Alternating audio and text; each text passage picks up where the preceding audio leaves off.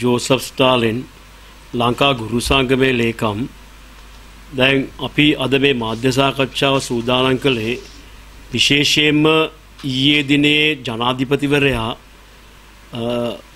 ජාතිය අමතමෙන් කළපු ඒ ප්‍රකාශනයේදී ශේෂයෙන් අධ්‍යාපන පද්ධතිය සම්බන්ධයෙන් ජනාධිපතිවරයා විසින් මතු කරන ලද කාරණා ඇත්තටම අපි හිතන්නේ බරපතල වැරදි තොරතුරු ගණනාවක් පදනම් කරගෙන මෙයින් තමයි ජනාධිපතිවරයාම ප්‍රකාශය කළේ. ඇතරම අපිට තියෙන ප්‍රශ්නේ තමයි මෙවැනි ප්‍රකාශ කොහොමද ජනාධිපතිවරයා අතට ගියේ කියන කාරණාව. මොකද විශේෂයෙන්ම අපි දන්නවා දැන් අද වෙනකොට COVID-19 වසංගත තත්වයක් තුල ලංකාවේ ළමයින්ගේ අධ්‍යාපනය වසරකුත් මාස 3කට වැඩි කාලයක් අහිමි වෙලා තියෙන්නේ. එතකොට එවැනි වාතාවරණයකදී ජනාධිපතිවරයාගේ ප්‍රකාශය තුළ පැහැදිලිව කියපු කාරණාවක් තමයි දුරස්ථ අධ්‍යාපනය තුළින් අධ්‍යාපන පද්ධතියේ විශාල ප්‍රගතියක් අත්කරගෙන තියෙනවයි කියන කාරණාව. අපි දන්නවා අද වෙනකොට විවිධ මාධ්‍යාරා පැහැදිලිව පෙන්නුම් කරන කාර්යයක් තමයි දුරස්ථ අධ්‍යාපනය සඳහා ළමයින්ට බලපාලා තියෙන බරපතල ප්‍රශ්න. විශේෂයෙන් අපි දන්නවා ඒ දුරස්ථ අධ්‍යාපනය දුරස්ථ අධ්‍යාපනය කිරීමේදී විශේෂයෙන් අපි දන්නවා ප්‍රධානම කාරණාව තමයි ඔන්ලයින් මගින් අධ්‍යාපනය ලබා දීම. දැන් එතකොට දැන් මේ වෙනකොට ළමයි 43 ලක්ෂයක් ළමයින්ගෙන් ඔන්ලයින් අධ්‍යාපනය ලබන්නේ එහෙම නැත්නම් මාර්ගගත ක්‍රමයට අධ්‍යාපනය ලබන්නේ ළමයින්ගෙන් 130කටත් 40කටත් ආසන්න ප්‍රමාණයක්. අද ලංකාවේ ළමයින්ගෙන් 160කට ආසන්න පිරිසක් කොවිඩ් වසංගත තත්ත්වය තුළ අධ්‍යාපනය අයිමි කරගෙන තියෙන්නේ. මොකද ළමයින්ට කිසිම අධ්‍යාපනයක් නැහැ. එතන මේ අධ්‍යාපනයක් නැති ළමයි සම්බන්ධයෙන් ජනාධිපතිවරයාගේ ස්ථාවරය රජය මොකක්ද ගන්න පිළිවෙත කියන එක තමයි මේ රටේ දෙමව්පියෝ ගුරුවරු අධ්‍යාපන පද්ධතියේ සියලු දෙනා බලාපොරොත්තු වුණේ. අපි නමුත් ජනාධිපතිවරයා විසින් ප්‍රකාශ කළේ අධ්‍යවස්ථ අධ්‍යාපන ක්‍රමේ සාර්ථකත්වයක් අත්පත් කර ගන්නවා කියන කාරණාව. අපි දන්නවා මේ වෙනකොට දැන් ඔන්ලයින් නැති ළමයි 160කට ආසන්න පිරිසක් සිටියේදී ඔන්ලයින් කරන ළමයි අපි 130ක් 40ක් ආසන්න ප්‍රමාණයක් ඉන්නේ. ඒ ළමයින්ගේ බරපතල ප්‍රශ්නයක් තියෙනවා. ඔවුන්ට දුරකථන සංඥා නැහැ, ඩේටා නැහැ, දුරකථන නැහැ, බරපතල ප්‍රශ්න.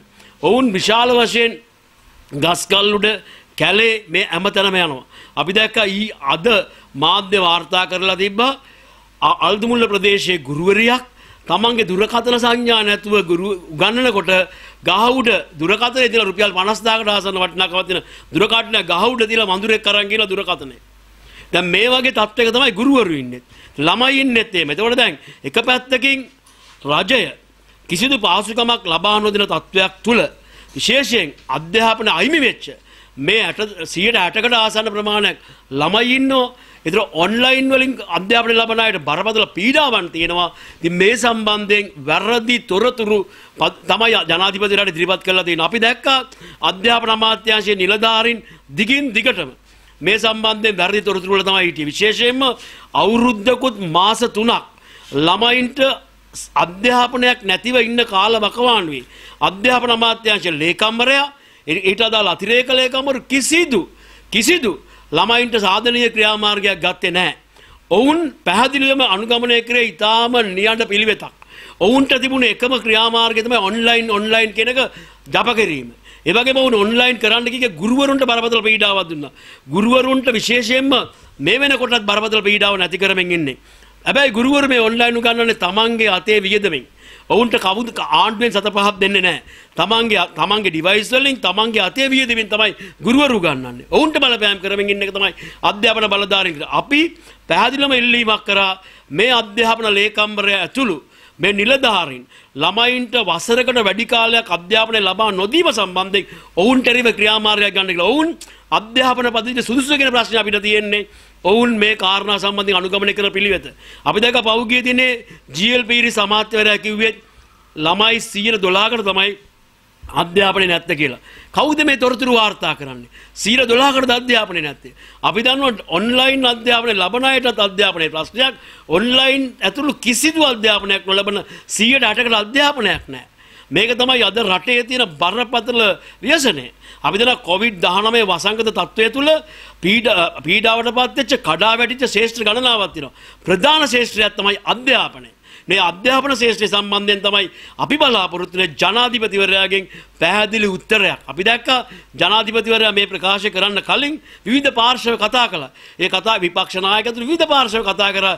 ඒ කතා කරපු සියලු පාර්ශවයන් කිව්වේ අධ්‍යාපනය පිළිබඳ ජනාධිපතිවරයාගේ ප්‍රකාශ වැදගත් කියන එක. අපිත් බලන් හිටියා ඒ කාරණාව සම්බන්ධයෙන්. නමුත් අපිට තියෙන ප්‍රශ්නේ තමයි ජනාධිපතිවරයා කියනවා නම් අධ්‍යාපනය අධ්‍යාපනය විශාල ප්‍රගතියක් අත් කරගත්තයි කියලා කොවිඩ් දානමය වසංගත තත්ත්වය තුළ ඒක භයානක තත්ත්වයක් ඇට අපි දකින්නේ. මොකද මේ පැහැදිලියම මේ වගේ ප්‍රශ්නයක් මේ විදිහට සංවේදී ප්‍රශ්නයක් මේ ආකාරයෙන් සරල විදියට අධ්‍යාපන අධ්‍යාපනය පිළිබඳ අධි නිලධාරීන් ජනාධිපතිට වාර්තා කරලා තියෙනවා නම් කනගාටුදායක තත්ත්වයකට අපි දකින්නේ. ඒ වගේම අපි දැක්ක ජනාධිපතිවරයා කිව්වා පාසල් 10108 පායි තියෙන්නේ. පාසල් 10000කට ෆයිබර් ඔප්ටික්ස් අපි දීලා තියෙනවා කියලා ජනාධිපතිවරයා කිව්වා. එතකොට කොයිද දීලා තියෙන්නේ? ෆයිබර් ඔප්ටික්ස් 10000 කොයිද දීලා තියෙන්නේ? එහෙනම් පාසල් ඔක්කොම ලැබෙන්න ඕනේ. දැන් එතකොට දැන් ෆයිබර් ඔප්ටික්ස් 10000ක් දීලා තියෙනවා නම් මේ කොහොමද අපි දන්නවා දැන් මේ මේ ජනාධිපතිවරයාගේ ප්‍රකාශය අපි පේන රූපවාහිනිය නරඹනකොට මේක දවල් කාලේ තමයි මේක පටිගත කරලා තියෙන්නේ. මොකද රෑ 8 මාට මේ ජනාධිපතිවරයාගේ කතාව විකාශනය වෙනකොට ජනාධිපතිරයි කතාව විකාශනය වෙනකොට පෙරවරුවේ තමයි ජනාධිපතිවරයා කතාව පටිගත කරලා තියෙන්නේ. ඊට කලින් එතකොට දැන් මේ පටිගත කරලා තියෙන තත්ත්වයක් තුල දැන් මේ ප්‍රකාශය වැරදි නම් ඒක නිවැරදි කරන්න ඔය ප්‍රකාශ පටිගත කරාට පස්සේ බලපු නිලධාරීන්ටත් අවස්ථාවක් තියෙනවා මේක වැරදි නම් නිවැරදි කරන්න. කෝ කරලා? අපි දන්නවා 10000ක් 5 optics පාසල් වලට දීලා නැහැ. පාස අපි දන්නවා අධ්‍යාපන අමාත්‍යාංශයේ සංඛ්‍යා ලේඛන අනුව දෙදහකට වැඩි පාසැල්වල කිසිදු සංඥාවක් නැහැ. ඒකන කිසිම කිසිදු දුරකථන පාසුකමක් හෝ කිසි දෙයක් නැහැ. පාසල් නාම ලේඛනයේ අධ්‍යාපන අමාත්‍යාංශය තියෙනවා. එහෙම තියෙද්දි පාසල් 10000කට මේ වගේ ෆයිබර් ඔප්ටික්ස් දෙන්නා එක කවුද පිළිගන්නේ? ඒ වගේම අපි දැක්ක ජනාධිපතිවරයා පැහැදිලි කරපු ප්‍රකාශයක් තමයි බිලියන 25ක් වියදම් කරා ආණ්ඩුව ළමයින්ට පෙළපොත් නිල ඇඳුම් ඒ වගේම දිවාහාර වැඩසටහන සල් කියලා කිව්වා. ජනාධිපතිතුමා කිව්වේ. එතකොට දැන් මේ මුදල වෙන් කරපේක ඇත්ත. නමුත් අපි දන්නවා 2021 වසරට අදාළව මේ වෙනකන් ළමයින්ට නිල ඇඳුම් දීලා සම්පූර්ණ කරලා නැහැ. ඒක කර වගකීම කවුද බාරගන්නේ? එතන නිල ඇඳුම් සම්පූර්ණ ලබා දීලා නැහැ. අපි දන්නවා පෙළ පොත්වලත් අඩුපාඩු තියෙනවා. අවස්ථා අවස්ථා ගන්නවකද මේ අපි පතු කරලා පෙන්නවා. ඒ වගේම දිව ආහාර වැඩසටහන ලංකාවේ පාසල් ලද්දාකතර ක්‍රියාත්මක කරනවා. මේ දිවාහාර වැඩසටහන දැන් ක්‍රියාත්මක වෙන්නේ නැහැ. මොකද පාසල් ළමයි ගෙදර ඉන්නේ. ඒතර ගෙදර ඉන්න නිසා දිවාහාර වැඩසටහන ක්‍රියාත්මක වෙන්නේ නමුත් පළමු කොවිඩ් වසංගත අවස්ථාවේ සහ දෙවෙනි අවස්ථාවල දිවාහාර වැඩසටහන ක්‍රියාත්මක නොවන නිසා ඒ මුදල් වලින් සරිලන ආකාරයෙන් ළමයින්ගේ ගෙදරට වියලි සලාක ලබා දුන්නා. වියලි ආහාර ලබා දුන්නා. අධ්‍යාපන රාජ්‍ය අමාත්‍යාංශය හරහා වියලි ආහාර ලබා දුන්නා. කොහොමෙවරේ ලබා දුන්න ලබා දුන්නද ඒක? මෙවර එවැනි වියරියාර ලබා දීමක් කළාද? එතකොට එහෙම ලබා දුන්නේ නැහැ. ළමයි ගෙදර බඩගින්නේ නිර්ආහාරව ඉන්නේ. එතකොට ඔවුන්ට ඒ ඒ සලාක වලින් ආහාර ලබා දීම කිසිම දෙයක් උනේ නැහැ. අපි පැහැදිලිව වගකීමෙන් කියනවා ඒක. ජනාධිපතිවරයාගේ සිය කතාවේදී කියනවා අපි ළමයින්ගේ මේ කාරණා සම්බන්ධයෙන් බිලියන 25ක් වෙන් කරා කියලා. නම් වෙන් කරා නම් ඒ ප්‍රතිලාභේ ළමයින්ට ගිහිලා නැත්නම් ඒකට වග කියන්න ඕනේ කවුද? ඔවුන් සම්බන්ධයෙන් ගන්න ක්‍රියාමාර්ගය මොකක්ද කියලා අපි අහන්නේ. අපි දන්නවා මේ වෙනකොට අධ්‍යාපන අමාත්‍යාංශයේ බරපතල කඩාවැටීමකට ලක් වෙලා තියෙන්නේ.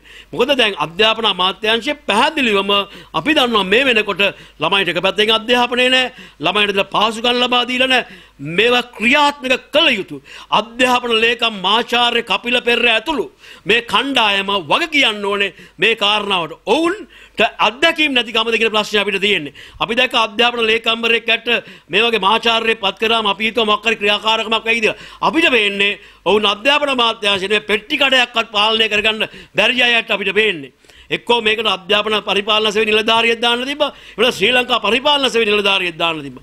මේ අපි පැහැදිලිවම හිතුවා මේ උපකුලපතිවරයෙක් පැටෙන් වැඩ කරපු මේ අධ්‍යාපන ලේකම්වරයා කටයු යම්කිසි කටයුත්තක් කරා කියලා. සමස්ත පද්ධතියම කඩා වැටලා තියෙන්නේ. ඒක අපි ජනාධිපතිවරයාගේ ප්‍රකාශයෙන් බලාපොරොත්තුනේ අධ්‍යාපනයේ යම්කිසි විදියක අලුත් දැක්මකින් ඉස්සරහට ගන්න මේ කඩා වැටිච්ච අධ්‍යාපනයට දෙන දර්ශනය මොකක්ද කියන කාරණාව අපි බලාපොරොත්තු වෙනවා. නමුත් එහෙම දෙයක් උනේ නැහැ. ඒ වගේම අධ්‍යාපන අධ්‍යාපනයේ සම්බන්ධයෙන් ජනාධිපතිතුමාගේ එකම ප්‍රකාශය බවට පත් උනේ සංවර්ධනාත්මක ප්‍රකාශය කියලා කිව්වේ මොකද්ද?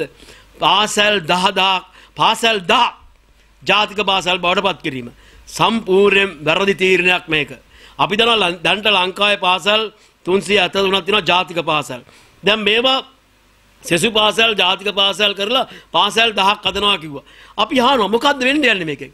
එතකොට දෙමෝපිය තුල ඇති වෙන්නේ ජාතික පාසල් කරොත් තමයි පාසල් සංවර්ධන වෙනවා කියලා. එහෙම වෙනවද? අපි දන්නේ එහෙම වෙයි කියලා.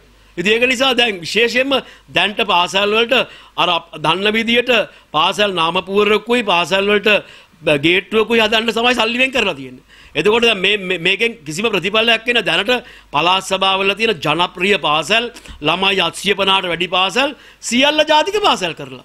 අද පළාත් සභාවලට තියෙන රොඩු ටික විතරයි තියෙන. කියන්නේ ඉවත් කරපු පාසල් ඇත්තරම කළ යුතුව තිබුණේ. මේ පාසල් දා ජාතික පාසල් කිරීම නෙවෙයි. දැනට ළමයි 100ට අඩු. පාසල් 3000ක් තියෙනවා. මේ පාසල් 3000 වැහෙන්න යන්නේ. මේ පාසල් 3000 සංවර්ධනාත්මක පෙරට ගැනීම තමයි කළ යුතුව තිබුණේ. ඒ වගේම අපි ජනාධිපතිවරගෙන් බලාපොරොත්තු වුණා විශේෂයෙන්ම අපි දැක්කා ළමා වෛද්‍ය ළමා විශේෂඥ ළමා රෝග විශේෂඥ වෛද්‍යවරු ඒ වගේම සෙසු පාර්ශවයන් කිව්වා පාසල් විවෘත කිරීමට පෙර ගුරුවරුන්ට දරුවන්ට ලබා දෙන එන්නත් ලබා දෙන්න කියන කාරණාව. මේ සම්බන්ධයෙන් ජනාධිපතිවරගේ ප්‍රකාශකයි බලාපොරොත්තු මොකද පාසල් විවෘත වීමට පෙර ගුරුවරුන්ට සහ ළමයින්ට එන්නත් ලබා දීම. මොකද ළමයින්ට එන්නත් ලබා දීම කියන්නේ සංකීර්ණ කාරණාවක්. අපි දන්නවා මේ වෛද්‍යවරුත් සඳහන් කරන ආකාරයෙන් ෆයිස් එන්නත ගෙනල්ලා ළමයින්ට ලබා දෙන්න පුළුවන් කියන කාරණාව ඔවුන් දිගින් දිගටම කිව්වා. අපිත් යෝජනා කරන්නේ ඒකයි. අඩු ගානේ උසස් පෙළ සාමාන්‍ය පෙළ විභාග කරන ළමයි සම්පූර්ණයෙන්ම ලක්ෂ 8කට ආසන්න ප්‍රමාණයක් ඉන්නේ. ඔවුන්ට මේ එන්නත මුලින්ම ගෙනලා එන්නත ලබා දීමෙන් අපිට පුළුවන් සාමාන්‍ය පෙළ උසස් පෙළ විභාග පවත්වන්න. ඒ වගේම ගුරුවරුන්ට පාසල් ආරම්භ කරන්න පුළුවන් ගුරුවරුන්ට මේ එන්නත ලබා දෙනවනම්. ඉතින් ඒවා සම්බන්ධයි බලාපොරොත්තු. නමුත් ඒ සම්බන්ධයෙන් යම් කිසිදු ප්‍රකාශයක් ජනාධිපතිවරයාගෙන් උනේ නැහැ. ඉතින් අපි අපි බලාපොරොත්තු වෙන්නේ අධ්‍යාපනය පෙරටගෙන යාම. අද මේ වෙනකොට 43 ලක්ෂයක් ළමයින්ට අධ්‍යාපනය නැහැ. පාසල් 10165ක් වහලා 247000 ගුරුවරු විදුහල්පතිවරු ගෙදර.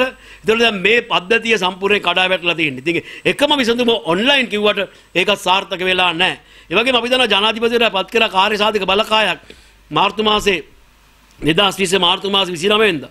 ඒ කාර්ය සාධක බලකායක කාර්යයක් තමයි කොවිඩ් වසංගත නිසා කඩා වැටුණු අධ්‍යාපනය ගොඩ දාන්න. ඒ කියන්නේ කඩා වැටුණු අධ්‍යාපනය නැවත සකස් කිරීම. නමුත් එහෙම යෝජනාවක්වත් කරලා නැහැ. ඒක නිසා අපි බලාපොරොත්තු වුණු දෙයක් නෙමෙයි වෙලා තියෙන්නේ. අපි පැහැදිලිවම ඉල්ලීමක් කරනවා ජනාධිපතිවරයාගෙන් ඔවුන්ට මේ තොරතුරු ලබා දුන්න අය මේ කඩා වැටිච්ච අධ්‍යාපනය ගැන නිවැරදි තොරතුරු ලබා නොදුන්නු මේ මේ නිලධාරීන් සම්බන්ධයෙන් පියවරක් ගන්න කියන එක තමයි අපි ඉල්ලන්නේ. මොකද මේ රටේ දරුවන්ටයි අවුරුද්දකුත් මාස තුනක් අධ්‍යාපනය අයිමි කරලා තියෙන්නේ. ඉතින් මේ අයිමි මේ දරුවන්ට මේ අධ්‍යාපනය අයිමි කිරීම සම්බන්ධයෙන් අධ්‍යාපන බලධාරීන්ගේ වගකීම බාර ගන්න කියලයි අපි කියන්නේ.